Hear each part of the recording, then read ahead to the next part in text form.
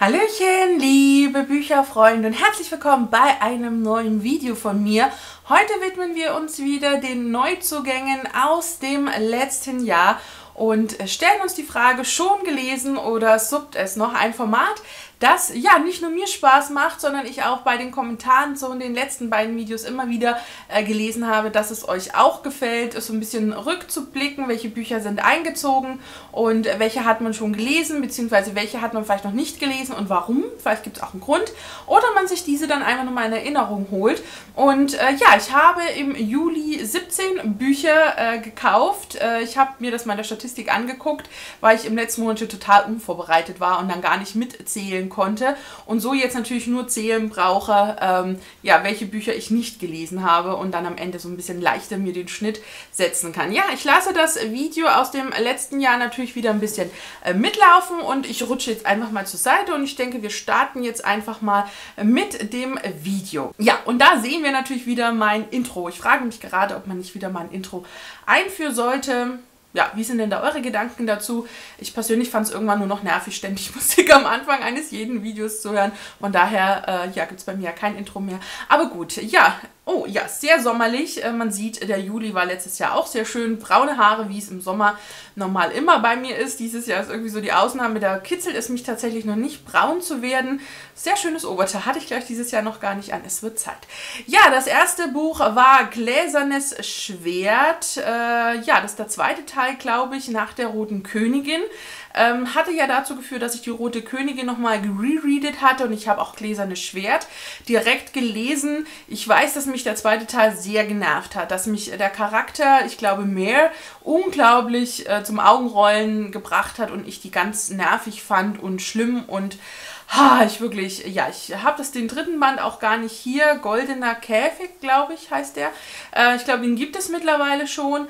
Ähm, es zieht mich aber gar nicht dahin, den Abschluss dieser Trilogie, äh, glaube ich, äh, zu lesen. Ich fand es leider, ähm, ja, ich fand es nicht so gut, den zweiten Teil. Ich fand einfach die Protagonistin ganz schlimm. Und ähm, ja, was soll man anderes äh, dazu sagen? Dann von Alexandra Potter Love from Paris. Äh, ich glaube, im letzten Jahr sind einige Paris-Bücher mal bei mir eingekommen. Wurde von mir schon gelesen, war auch ein ganz schönes Sommerbuch, wie ich in Erinnerung habe. So viel mehr kann ich zu dem Buch aber gar nicht erzählen, aber es ist auf jeden Fall schon gelesen. Dann mein Sommer-Highlight aus dem letzten Jahr. Hashtag Folge deinem Herzen von Jackie Fellgut.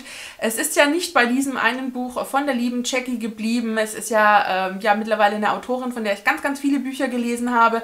Das war mein erstes Buch von ihr, was ich dann auch, glaube ich, direkt im, im August im Urlaub gelesen habe und es wirklich großartig fand und es auch jedem jetzt zur Sommerzeit absolut, äh, ja, im Grunde empfehlen kann. Äh, Jackie hatte ja letztes Jahr das Projekt mit den zwölf Büchern in zwölf Monaten und das war, glaube ich, das siebte Buch und ich habe einige Bücher danach noch von ihr gelesen, habe auch noch ein paar natürlich auf dem Sub, aber... Ähm, ja, Folge deinem Herzen war ein absolutes Highlight und äh, auch rückblickend dann zu den nachfolgenden Geschichten wirklich eine ganz, ganz tolle Geschichte, die sich auch so ein bisschen um die Bloggerwelt äh, dreht und äh, ja, die einfach Spaß gemacht hat. So eine richtig schöne sommerliche Liebesgeschichte, die ganz viel Spaß gemacht hat und ja, absolute Empfehlung, perfekt auch für die jetzige Zeit. Eigentlich bist du gar nicht mein Typ, war eine Geschichte, die mir, glaube ich, so vom Verlag zur Verfügung gestellt wurde, hatte ich auch gelesen und war dann doch sehr überrascht über diese verzwickte Liebesgeschichte, die mich gut unterhalten hat, jetzt keinen extrem bleibenden Eindruck hinterlassen hat, mir aber dennoch äh, sehr, sehr gut gefallen hat. Dann ist ein Highlight-Buch, zumindest bei mir eingezogen, und zwar das Buch der verschollenen Geschichten von J.R.R. Tolkien, Teil 1, denn Teil 2 habe ich vor Jahren schon ergattert und Teil 1 war mir entweder immer zu teuer oder in zu schlechtem Zustand. Und ich glaube, den habe ich gebraucht gekauft, auch vermute ich, ich höre es ja gerade nicht, ich glaube, dass ich da irgendwo äh, was bestellt hatte, Rebuy, vermutlich, wenn nicht Medimobs.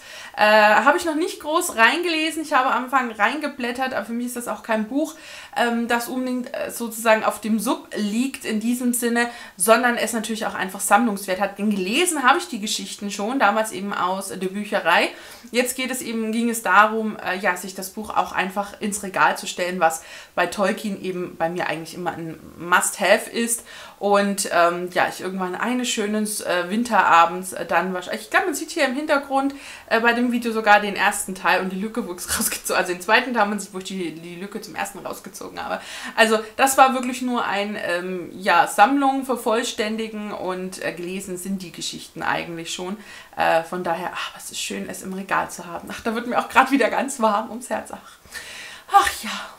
Und ich glaube, man sieht auch, einfach die Freude, die ich da habe, dass es ein Neuzugang ist. Also ja, ich meine, wenn einem sowas so viel Freude bringt, ne? also der Steffi aus der Vergangenheit sozusagen. Dann äh, ging es weiter mit äh, Pollys Welt steht Kopf von Mimi J. Popperson.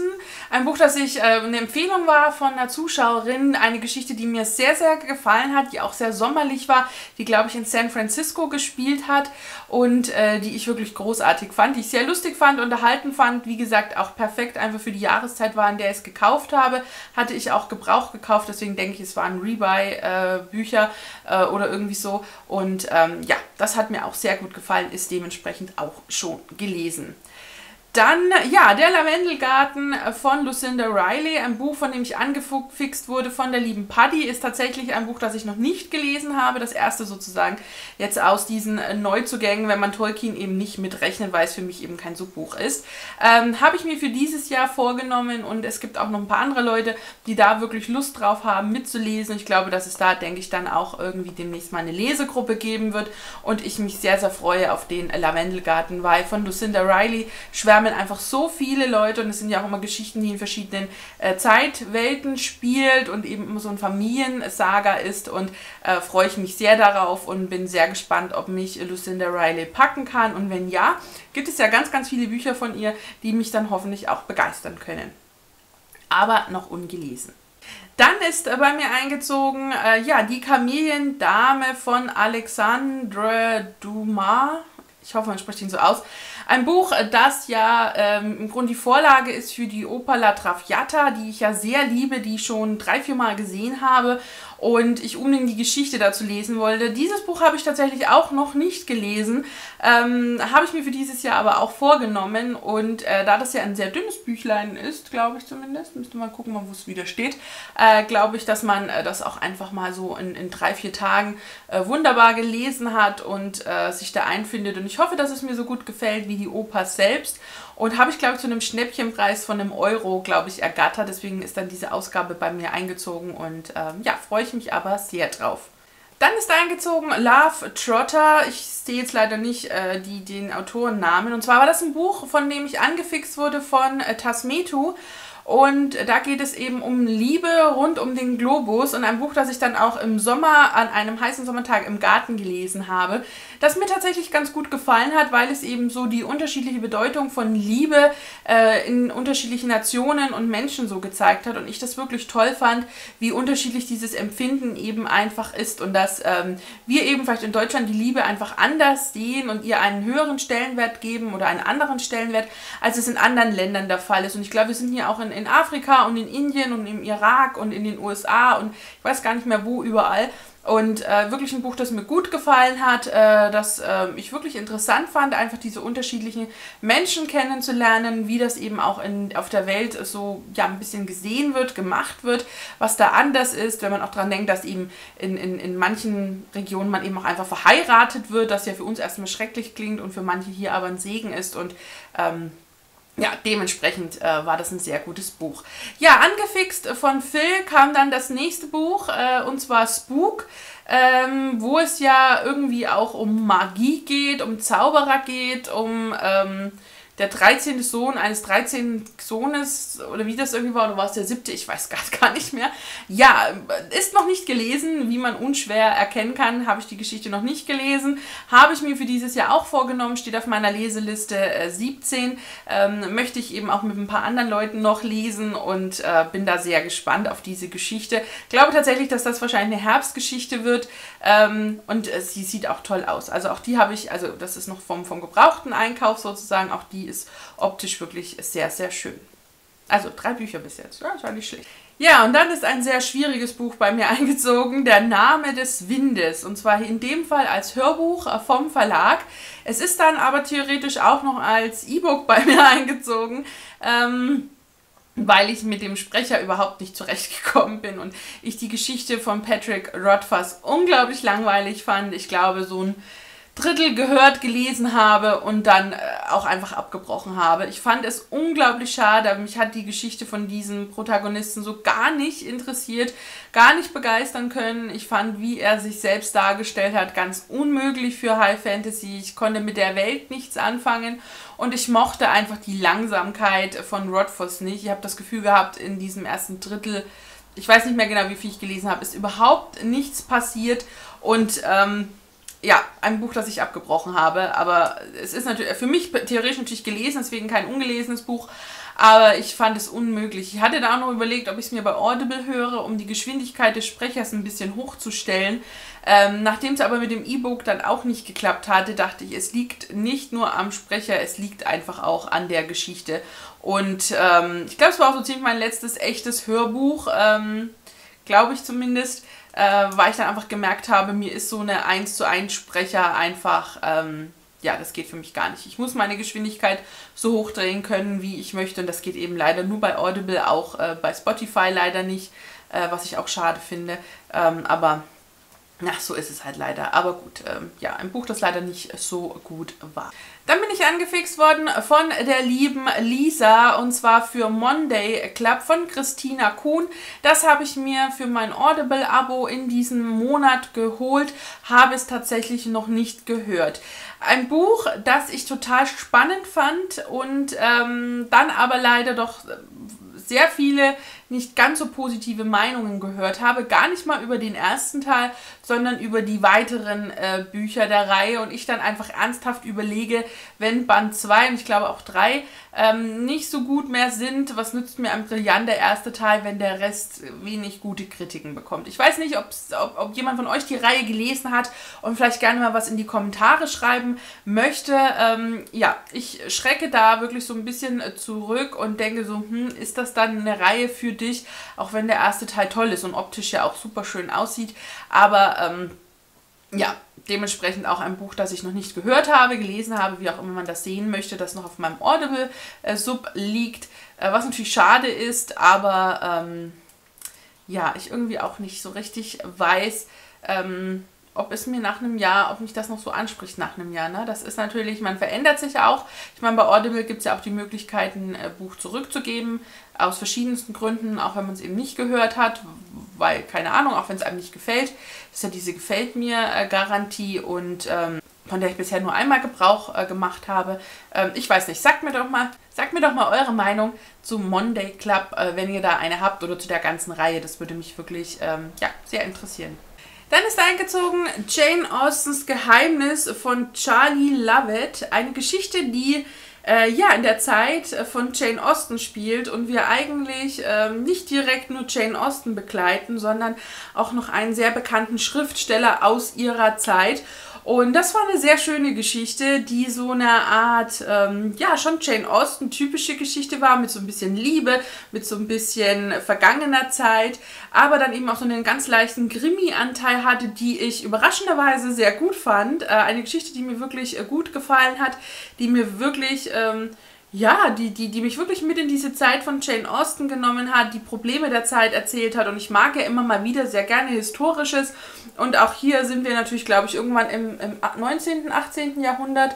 Und äh, ja, die Geschichte hat mir gut gefallen, auch wenn es weniger Jane Austen war als erwartet äh, fand ich wirklich dieses Geheimnis um Jane Austen sehr spannend und es hat echt Spaß gemacht zu lesen. Ja, dann ist ein Buch eingezogen von der lieben Michelle Schrenk, A Place to Remember, Emily und Noah.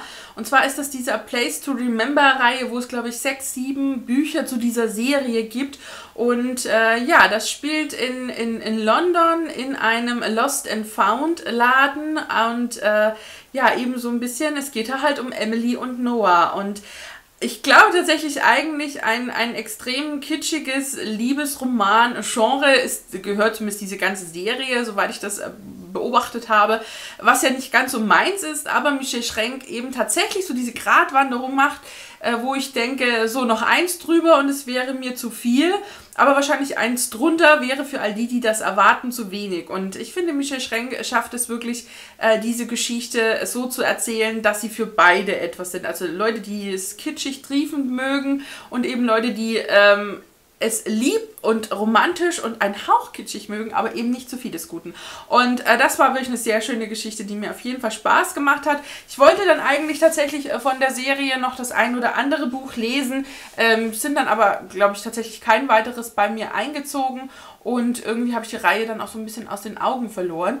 Aber ich denke, für den Sommer könnten das wirklich E-Books sein, äh, wo man sich einfach äh, ja, um diesen Ort nochmal schart und dann auch um die Charaktere so ein bisschen äh, miteinander irgendwie ja, verzwickt sind, verzweigt sind und äh, man da eben die ein oder andere schöne Liebesgeschichte äh, liest. Und man hier wirklich eher eine Liebesgeschichte hat und nichts ähm, mit Erotik oder New Adult oder ja, ne, das äh, hat man bei Michelle Schrenk ja äh, nicht, was ich ja immer sehr gut finde und deswegen ihre Bücher auch so mag ich mich jetzt auch auf viel Neues schon freue.